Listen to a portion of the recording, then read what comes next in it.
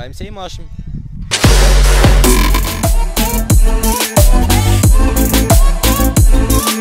Я хочу вам сказать, вот есть понятие гражданин страны, вот у вас это понятие с большой буквы.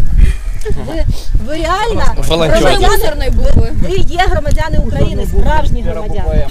И то, что вы откликнули, да, то, что вы реально Мусорные. просто где-то кто-то что-то говорит, а вы реально пришли, вы реально сделали. Я понимаю, что вы потратили свой силы, вы потратили, а, возможно, там где-то можно было в это время погулять, потусить. 10 с А экономикой. вы 12, 12, а вы просто умнички. Я Не вам заработала, горжусь. мало Я работала. вас уважаю, вы молодцы, я буду ставить вас в пример. Э, Не все такие, как вы. Это очень дорого стоит, вот такое качество, быть таким настоящим гражданином своей страны. Вы умнички.